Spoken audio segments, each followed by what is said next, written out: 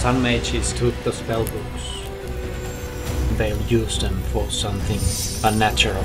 Many of you live in poverty, but it doesn't need to be this way. Free coin is made here. We shall make change. Yes, Money! Do it again! Again! We're gonna be rich! We are under attack! The moon wear black to stay unseen, but in daylight we must disappear entirely.